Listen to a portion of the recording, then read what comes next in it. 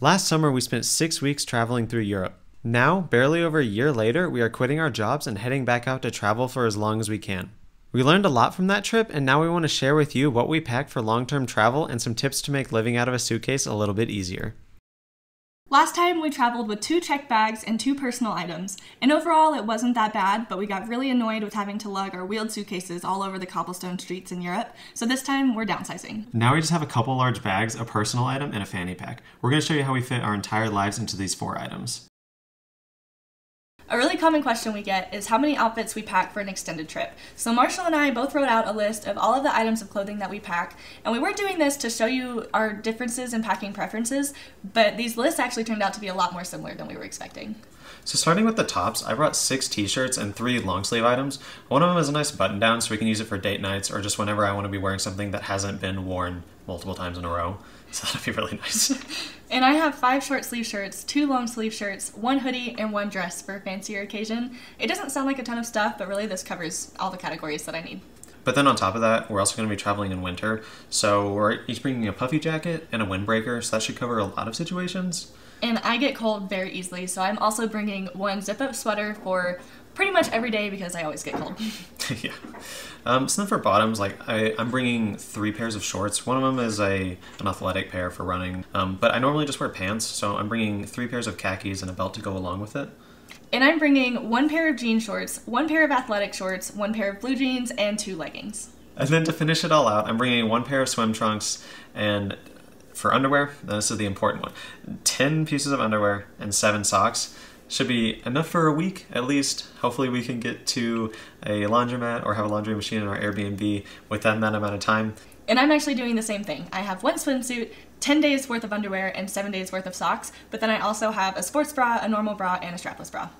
So that's pretty much everything we're bringing. It doesn't sound like a lot in some cases because like for some of these items we don't even have enough for a full week, but we're hoping that we can hit some laundromats or find laundry places within a reasonable amount of time. Plus, once you start having to pack for winter, your backpacks get really full really quick. So here's a summary of everything we're bringing. When it's listed out, it kind of looks like a lot, but I mean, it's really not too much stuff and they all fit in our bags. So I think it's a perfect amount.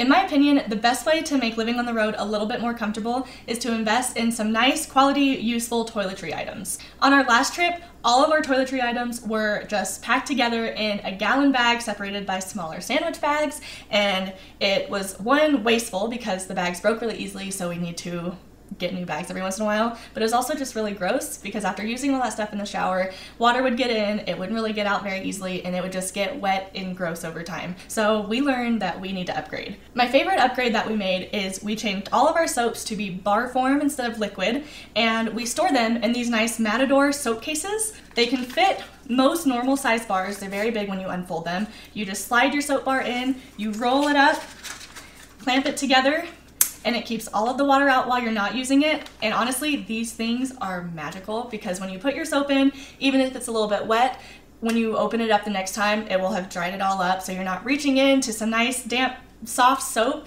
it'll dry it right up for you and it makes it just so much more pleasant getting to the next location, knowing that your materials aren't gonna be sitting in water on the whole way. We love using these bar products because you can take them through TSA and they just last so much longer than liquid soap.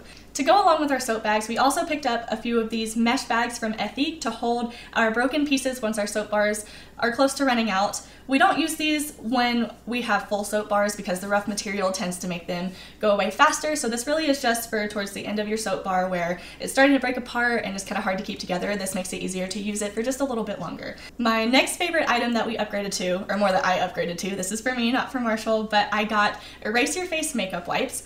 These are the first reusable makeup wipes I've ever tried and Honestly, whether we were traveling or not, I wish I found these so much sooner. You just run them under some warm water to activate them, take off your makeup, and that's it. They are so soothing. My eyes used to get so irritated by trying to take off my makeup with disposable wipes, and this just, it it's wonderful. It's so soft, it does not irritate my skin, and my skin just overall feels so much better after taking my makeup off with these. Other than that, we have some very ordinary toiletry items. We have deodorant for each of us, face scrub. I have a razor, which I don't have a fancy package for, but this one is super easy to just dry off on a towel before I pack it up, so this one does not get gross at all, so I'm fine with that. Uh, floss, toothbrushes, toothpaste, we have our retainers, and then I have a hair clip and comb. We fit all of that stuff into this nice little toiletry bag by Sea to Summit. This is their large bag and it is incredible. It is so spacious. You can tell it's just a nice quality material that is going to last us a very long time. When you open it up, it has so many different compartments to stay nice and organized.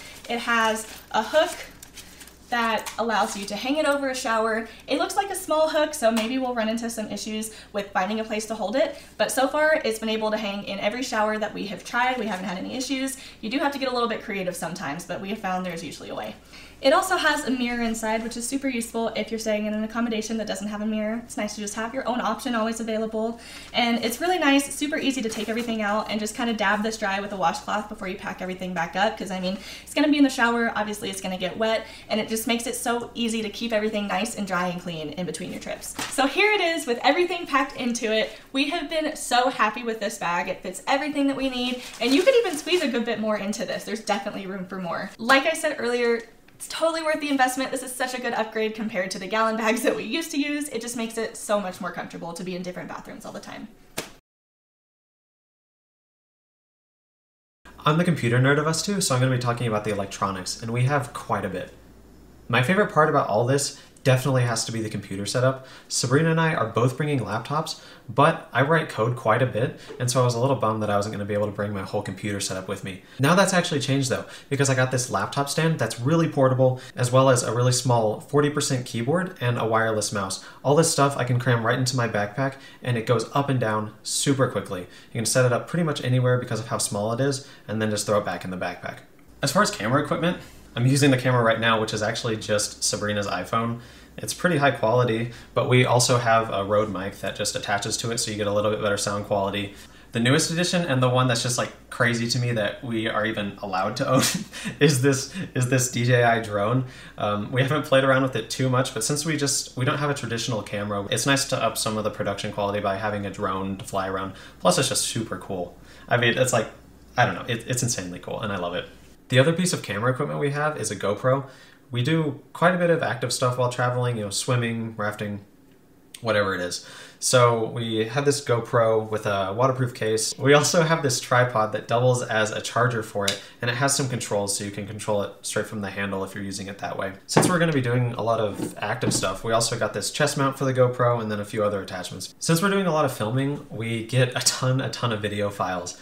And so it's really nice to have some extra storage. I mean, our phone and our laptop storage would be really hurting if we didn't have these. So it's just a couple of solid state drives, really nice to have while traveling.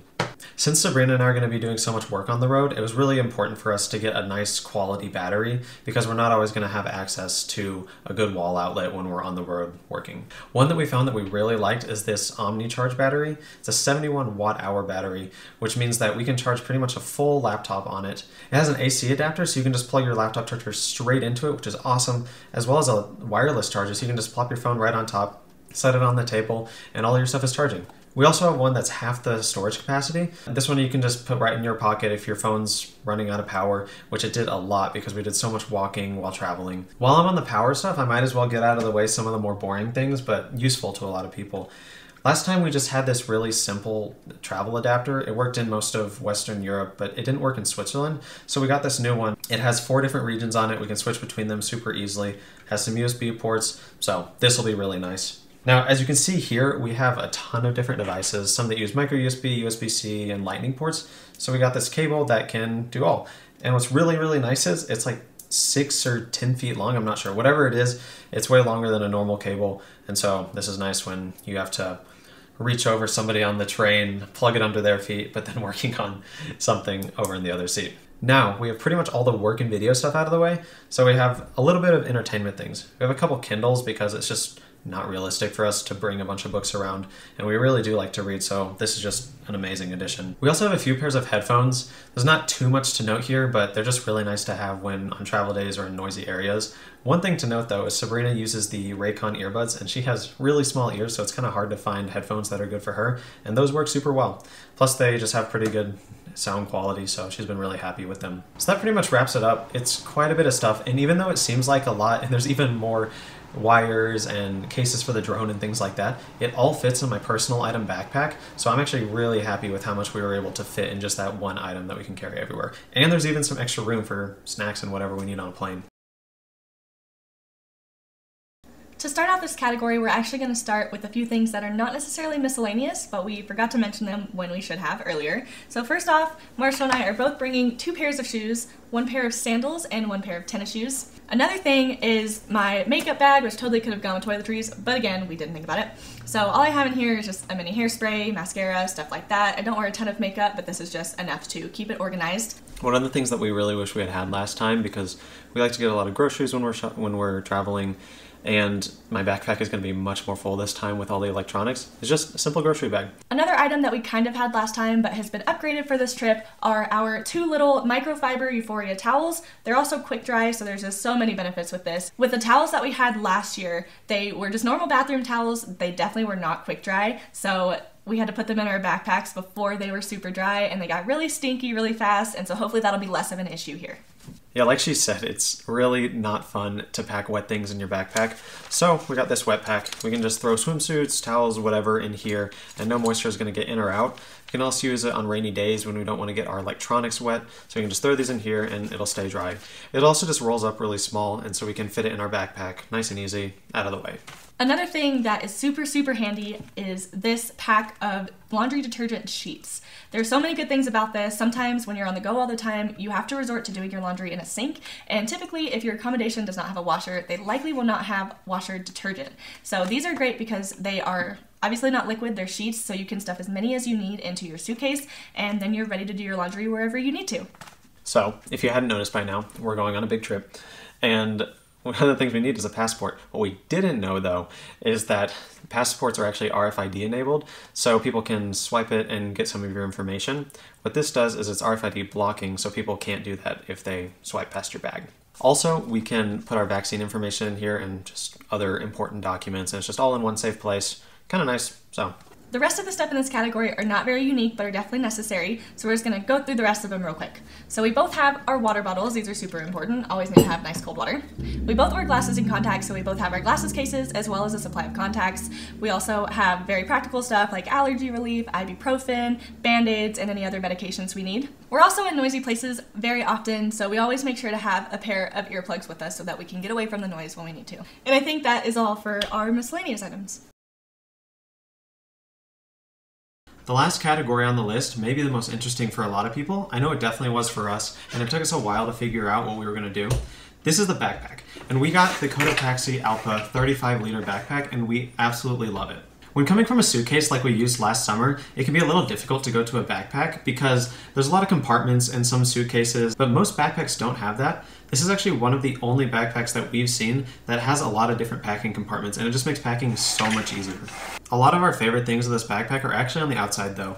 Some of them are the safety features, which are really, really cool. When fully closing the backpack, the zippers are actually really difficult to get open. They go through this loop at the very end, and so it makes it really difficult for somebody just running by and trying to swipe some of your stuff to get past. So that's a really simple safety feature that it has that we really like. So given that we've really packed this backpack up with all of our stuff, it gets really heavy. And what's really cool about this is it has some features that just take some of the load off of you. Some There's some simple things like the fact that it has a waist and a chest strap, which takes a lot of the weight off your lower back, which is really good for people who have back problems. But also you can completely store the straps inside the back of the backpack and this allows you to just use it like you would a duffel bag. Moving over to the sides of the backpack, it has a pretty standard laptop sleeve feature, which is nice, but the cool thing is it also has a pass-through to the main compartment, so you can just grab something really quick and go back without having to open up the entire backpack, because it can be pretty hard to open. There is one downside of this backpack though, it doesn't have a water bottle holder. This isn't a super huge deal though. Even though we do carry water bottles everywhere, you can just super easily attach a carabiner to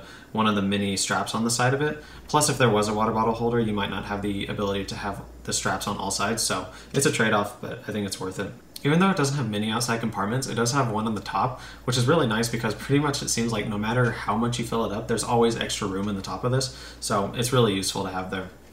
On the inside of the pack, we have four main compartments. One big one that we usually use to carry all of our big clothes. It is not really a compartment as it's the entire one side of it, but it does zip up, so it does keep it separate from the rest of the stuff, which is really nice.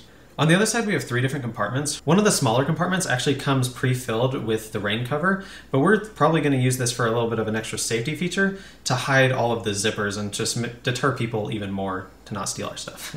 so there are two of those smaller compartments and then one a little bit larger. It doesn't look that big, but it actually goes completely under the two smaller ones. So there's quite a bit of room on this side to pack all of your socks and underwear and, and other small things, or at least that's how we do it. So since Sabrina and I both have the same backpack, that covers both of our carry-ons and are the biggest items. We're also bringing a personal item backpack and a fanny pack. We originally weren't super impressed by the fanny pack, but after packing it for what we would think we would use on a day trip, we're super impressed by it. It carries way more than we thought it would, and we think this will be super useful. And then the personal item backpack is obviously really useful and is what we're using to carry pretty much all of our electronics. You can fit a ton of stuff in here. So, so I think these four items will work really well together and provide a nice balance of small and big luggage items to carry on day trips or full travel days. Okay, so here is all of our stuff. This is everything we're gonna have with us while we're traveling, and we just wanted to pack it up for you guys so you can see it all in one place.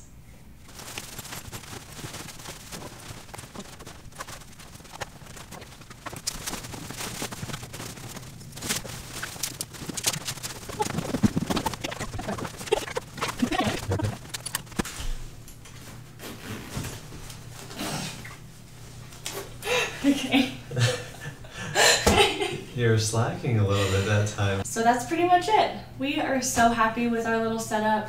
We do not miss lugging around our wheeled suitcases. We are so happy to be just in backpacks now. I hope you were able to take away something from this video, and thanks for watching.